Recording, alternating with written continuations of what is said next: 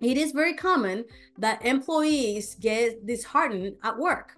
One of the things that we teach in our trainings is that even from the day one, one of the goals of the day one of onboarding of an employee is to make sure that the experience in the company is so positive that they're happy and glad that they joined the organization. Because what happens is that sometimes from day one, we are not treating our people with respect or, or we are not meeting their expectations. And once they get disheartened, it is really hard to gain their trust and their excitement for the company again. And so we need to really find out and take the time to find out why they are unable or unwilling to do the job. And if it's something that we have created an environment, a culture, or something that we created as an organization, that maybe we should correct that and hopefully be able to turn that person around. Now, sometimes the reason people don't want to do it is because they have things going on personally in, in their lives, and you may be able to accommodate or not. All I'm saying is that when you are able to determine that they simply do not want to do the job that you expect them to do, that you really need to take the time to figure out why so that you can decide what the next steps might be.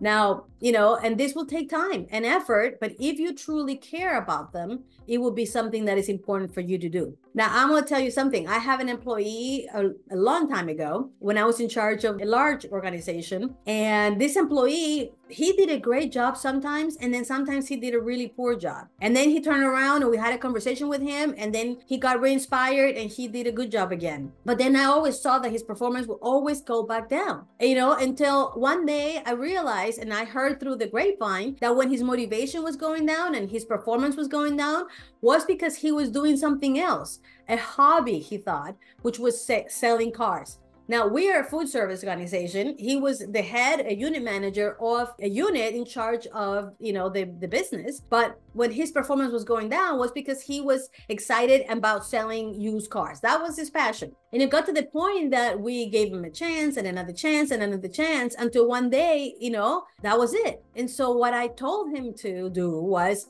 Look, if you are so passionate about selling used cars and that whole idea of the business, why don't you do that full time? And that's one of the conversations that we had when we finally had to let him go. Now, I will tell you that he was fearful of leaving the organization to do what he was passionate about. But at that point, he had lost his job. You know, he had the opportunity to actually focus full time on that new job. And he loved it so much. He was so good at it that he became very successful. As a matter of fact, I bought two cars from him after I let him go. All right. And so eventually he actually thanked me for letting him know, go because the company letting him go gave him the chance to pursue something that he truly was passionate about and became very successful doing that.